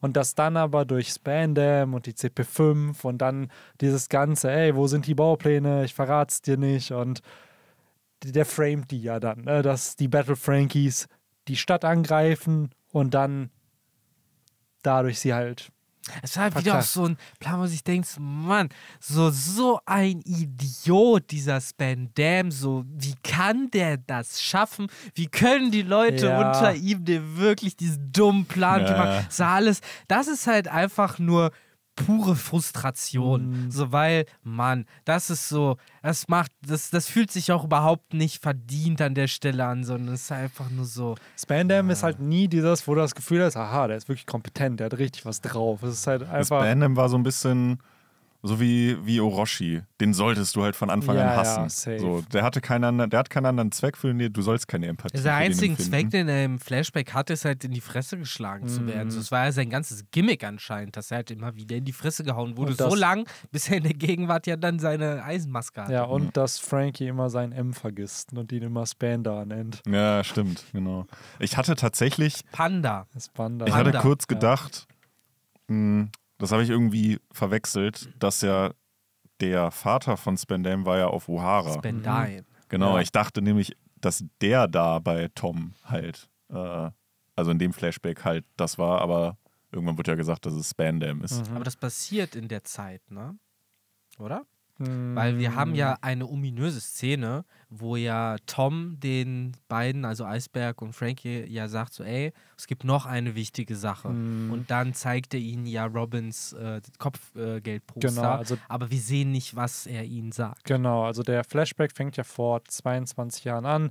In unserer heutigen Zeit nach dem Timeskip vor 24 Jahren. Das ist ja die Zeit, wo Roger exekutiert wurde und Mhm. das Piratenzeitalter anfing. Und O'Hara nach dem Timeskip vor 22 Jahren, zu dem Zeitpunkt vor dem Timeskip vor 20 Jahren halt. Das heißt, müsste man halt gucken, in welcher, wann er denen das halt Aber erzählt das hat. weil- Kopfgeld gibt es ja schon. Ne? Genau, das Aber hat sie ja nach das O'Hara das direkt bekommen, so. sozusagen. Das- Und da Ähm, ga- war Spandine schon der Vater in der CP 9. Der muss Mhm. da.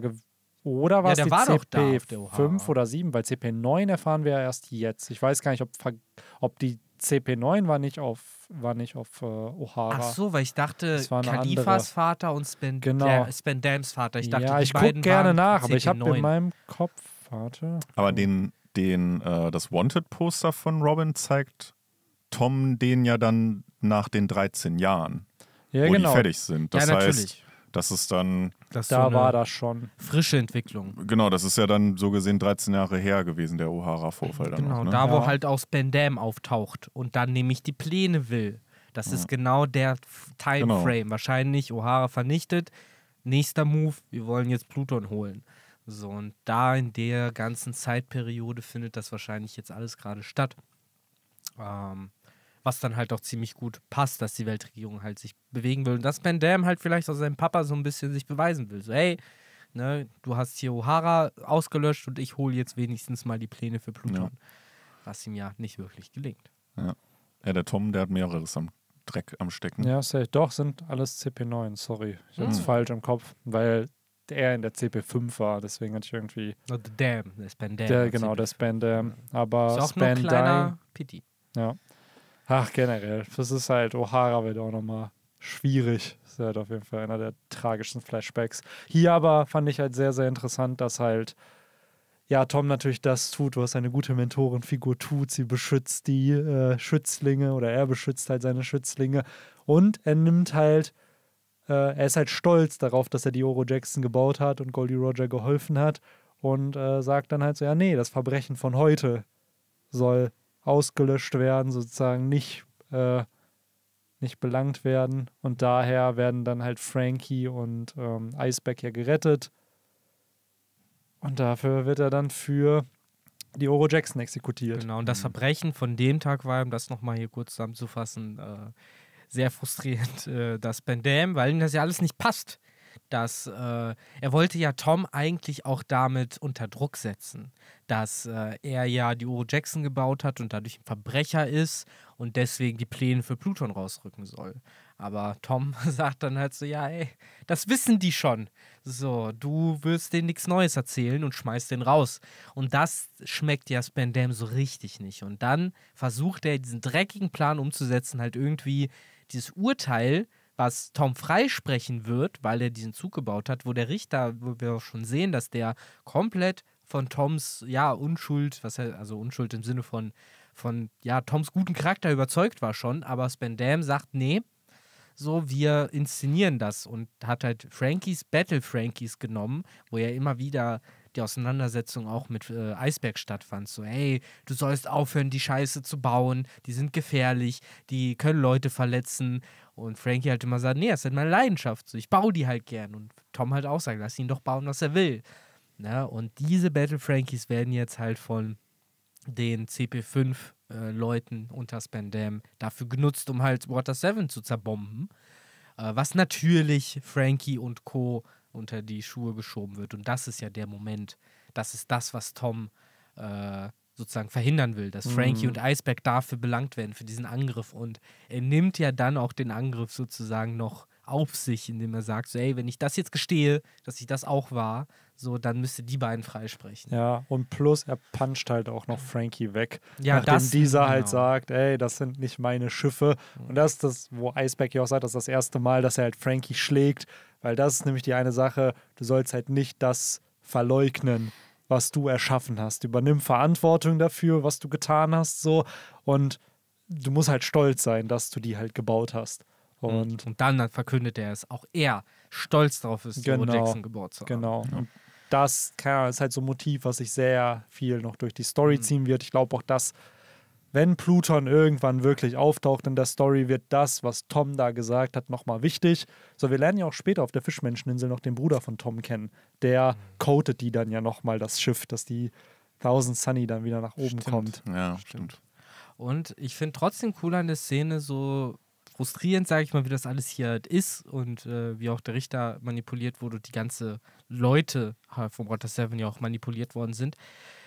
Immer noch irgendwie dieser kleine Ho so Realismusschimmer, dass der Richter sich nicht komplett verarschen ließ. So der, man hat ihm schon angesehen, dass der gemerkt hat, dass Ben Dam den Beef hat so und den da so reindrückt. Und aus Prinzip hat er dann ja gesagt, so ja, ey, fuck it, so, was muss, muss, okay, Tom, so, du wirst jetzt halt mitgenommen, aber die anderen beiden nicht. Ja.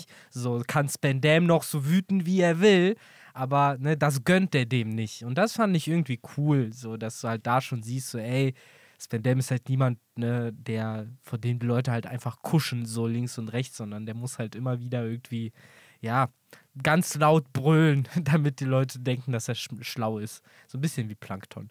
Ja. Und äh, sch- schwört ja dann auch, ich komme wieder, so und ich werde die dann auch noch verurteilen. Also halt da so alles Negative, was so ein Mensch eigentlich so in sich tragen kann, trägt er in sich halt. Und Auch dann diese haut- Rachsucht und äh, Und dann haut ihn Frankie einfach weg.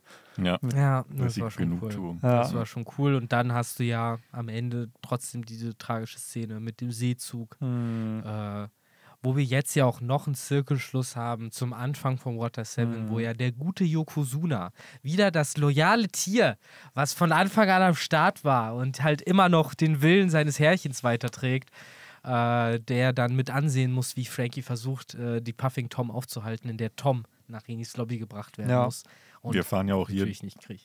wir erfahren ja auch hier, dass Frankie derjenige war, der Yokozuna das Kraulen beibringt. Viel zu gut, Richtig natürlich so. Ich bringe diesem dummen Frosch jetzt bei, wie man Kraul schwimmt, so, weil das ist viel effizienter als Ja. Brustschwimmen für Ja. den Frosch. Ja, das fand ich auch ein sehr, sehr cooles Detail irgendwie. Ja, es sind so Kleinigkeiten, ne, die es dann wieder so wholesome irgendwie machen. Und da hat dann Yokozuna gelernt, ne, dass man diesen Zug sozusagen anbellen muss, in Anführungszeichen, wie so ein Hund, ne, der halt Mhm. so gesehen hat, was sein Herrchen scheiße findet und jetzt das gleiche scheiße Ja. findet. Und deswegen lässt er sich halt jeden Tag von diesem Seezug überhaupt überfahren. Ja, ne? Das- und dann aber auch Frankie, der dann sich an Toms Worte halt nochmal erinnert und dann aber auch von seinem kleinen eigenen Traumschiffchen Mhm. träumt, ne? Was ja möglicherweise in Zukunft noch passieren kann, ne? Vielleicht, vielleicht wird es ja nicht Pauli, der der Strohhutbande beitritt. Vielleicht ist es ja doch Frankie. Ich, ich dachte mir beim Lesen halt, wo der Flashback kam, so, okay, das ist der Moment, wo Mhm. dieser Switch kommt von, es wird doch nicht Pauli, es wird wahrscheinlich Frankie. Ja, Ja, der Flashback war schon sehr äh, intensiv, muss Ja. man sagen. Schon ein Nakama-Flashback. Weil Genau. vorher war, das war aber noch im Band davor, da, da hatte ich auch wieder so diesen, dieses Indiz, eigentlich muss es doch Pauli sein, wo Pauli zusammen Ja, mit Ruffy ja, ja. da äh, festgekettet war auf dem Boden, die dann auch so einen kleinen Deep Talk da irgendwie Mhm. hatten. Das hätte halt, das hat Ruffy halt eigentlich immer mit seinen äh, Nakamas das ist halt das gehabt. Interessante, weil eigentlich ist Ruffy eher der, der die als erstes trifft und dann, oder jemand anders trifft die, aber trotzdem hat Ruffy diesen Bonding-Moment Genau, mit dem ja. Charakter. Hier ist es ja eher Lissop, der als erstes den Moment mit dem Ja. neuen Nakama hat. Und Frankie sagt ja Lysop, er soll ihm beitreten in der Frankie-Family. Ja, Stimmt, ja. Ganz geil. so, und dann. Ja, die beiden das. sehr früh. Ja, ne? absolut. So, und ich finde, das richtige Viben von Frankie und Ruffy passiert meiner Meinung nach erst, wenn Ruffy gegen Lucky kämpft und Frankie da in den Raum mit reinkommt und dann alle Schlüssel hat. Und er muss dann aber auch durch die Tür und Lucky lässt die nicht und Ruffy sorgt dann ja dafür, dass Frankie weiterkommt. Und da habe ich erst das Gefühl, da bonden die beiden noch irgendwie, weil vorher Ja. interagieren die ja nicht Nee, miteinander. aktuell So will Frankie Ruffy ja eigentlich noch eins auswischen. Ne? Genau, Mhm. so. Und dann aber dadurch dieses, ey, okay, meine Nakama vertrauen dir, also dass du die Schlüssel zu Robin bringst, ist halt so dieser große Moment. Ja, ja, Ja, ja. eben. Wenn er das nämlich macht, und ich glaube, das war wahrscheinlich auch der Moment, wo Ruffy eingesehen hat, der wird's. Also, wir kommen da noch hin, ne? Aber wie du sagst, das ist ja der ultimative Vertrauensbeweis. Auf der anderen Seite, wenn Frankie beitreten durfte nach der Aktion, dann müsste eigentlich auch äh, Galdino mittlerweile in der Crew sein, als derjenige, der den Schlüssel für Acer gemacht hat, in dem entscheidenden Moment. Leute, Äh, wenn du einen Schlüssel für die. Strohbande bastelst, dann bist du officially auch So, ein Mitglied. So, genau. Nix mit Mr. Two hier, der kann ruhig im Impel Down versacken. Den will doch Ja, der hat auch niemand. die Tore aufgemacht, das zählt. Stimmt, aber zählt. ja, aber er hatte keinen richtigen Schlüssel. Der Das ist jetzt Gatekeeping. Ja, das ist komplett.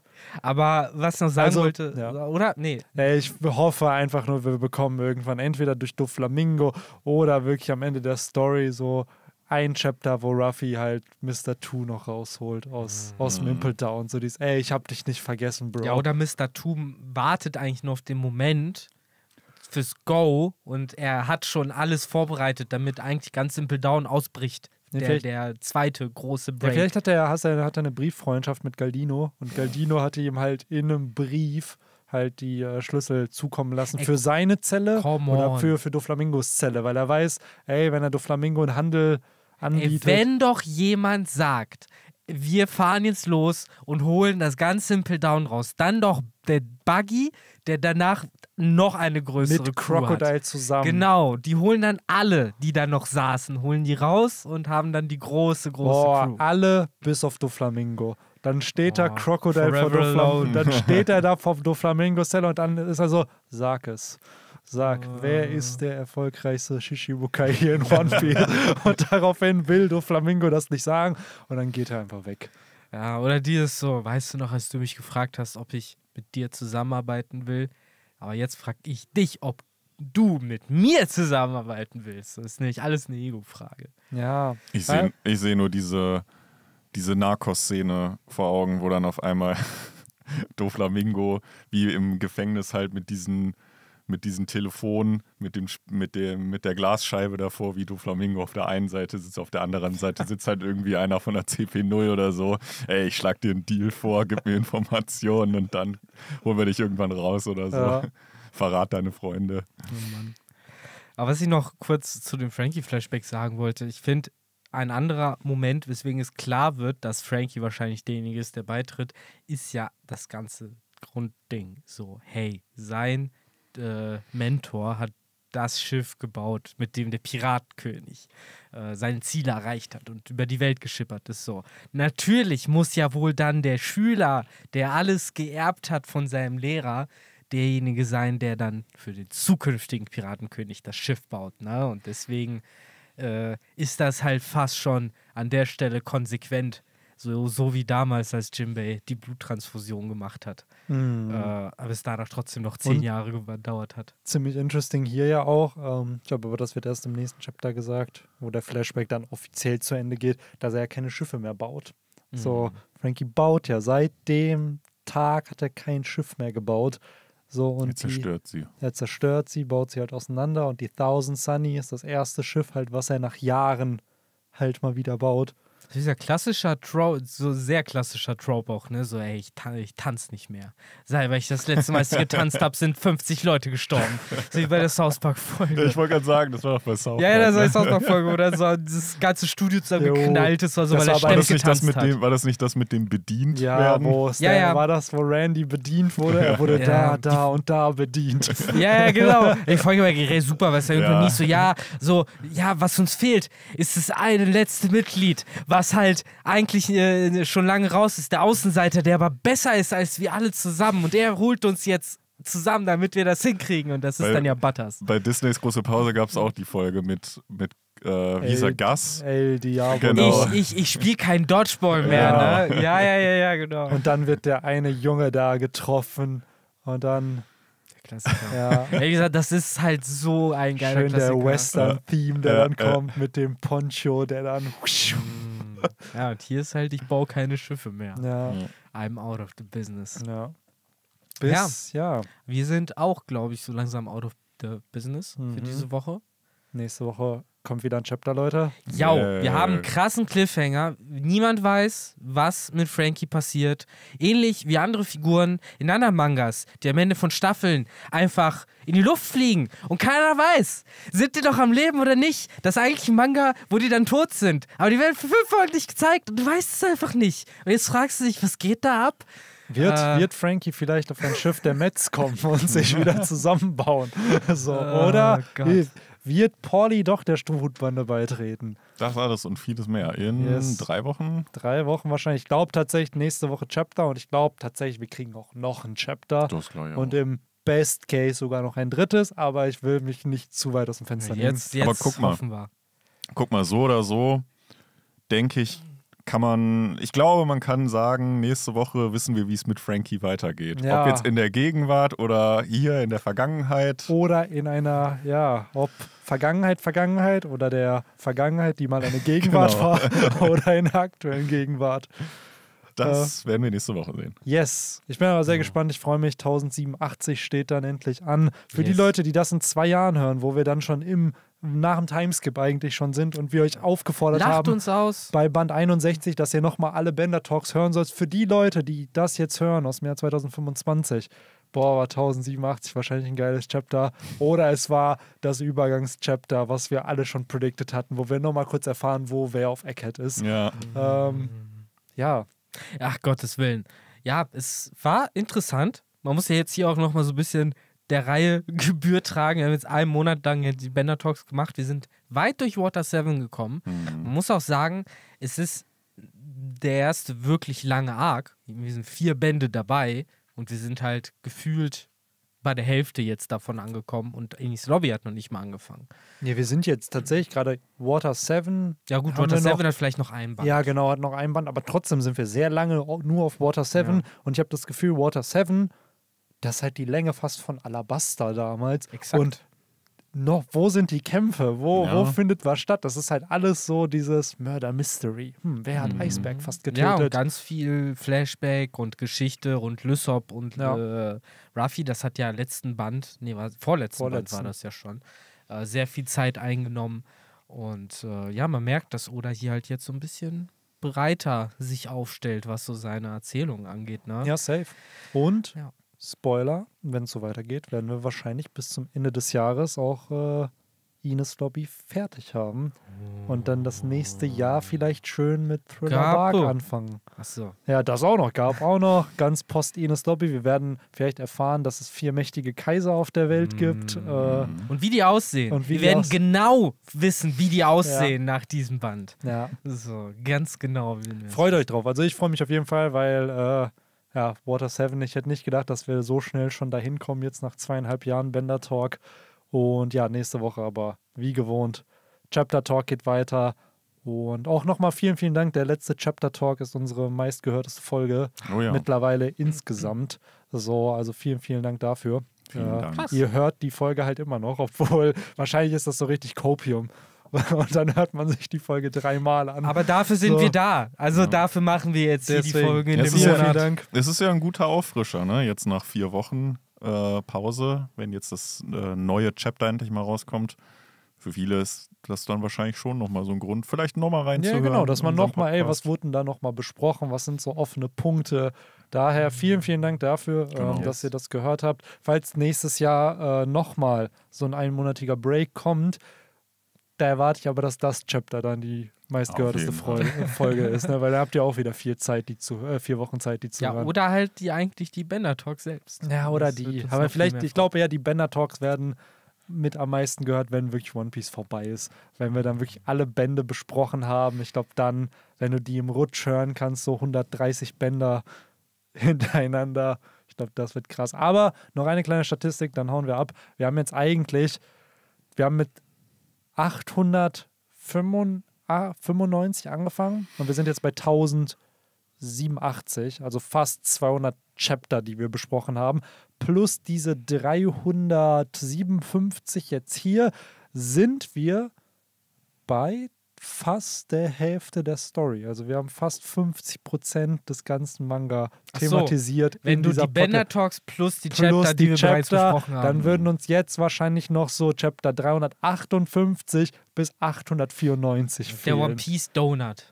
Ja, wir haben jetzt wahrscheinlich so 48 Prozent oder 47 Prozent. Aber also, auch krass, ne? Dass immer noch die Hälfte fehlt. Ja, es ist heftig. Ne? Wir Da, machen das. ey Leute, wir bringen halt literally jede Woche halt was raus. So und trotzdem haben wir nur die Hälfte. Und der Bender Talk ist ja eigentlich schon das äh, Zeitraffer-Format, ne? Ich Das will, ja das, ich wo will genau erstmal das. besprechen. Also auch das für alle Leute, die vorhaben, irgendwann mal komplett One Piece nochmal zu besprechen. Viel Spaß dabei, so, aber es, ist, es dauert schon sehr lange. Fangt am besten So. schon mal an. Ja, genau. Wirklich jetzt. Genau. Also, unser Ding ist ja, unser Ziel ist ja so ein bisschen, dass wir vielleicht den Bender Talk passend zum, zum Ende der Story fertig kriegen. Aber ich bezweifle, dass wir das Das wird hinkriegen. länger dauern, glaube Das ich. wird, glaube ich, länger dauern. Das- Außer halt- Oda macht mehr Breaks, dann glaube ich schon, aber. Aber wir sind so ein bisschen wie der Anime. So, der halt, nachdem der Band zu Ende, nachdem der Manga zu Ende ist, ha habt ihr noch den Anime und uns. So, Genau. Wir, wir ballern Dann noch. reviewen wir Folgen. Dann werden es nicht mehr nur Chapter, dann gehen wir auch Ja. auf die Folgen ein. Genau. Wundervoll wird das. Ach ja, alles. Dann Leute, denken wir uns auch noch Filler aus. das auch noch. Dann können wir die ganzen Filler mal besprechen. Dann besprechen wir auch Navarone und so.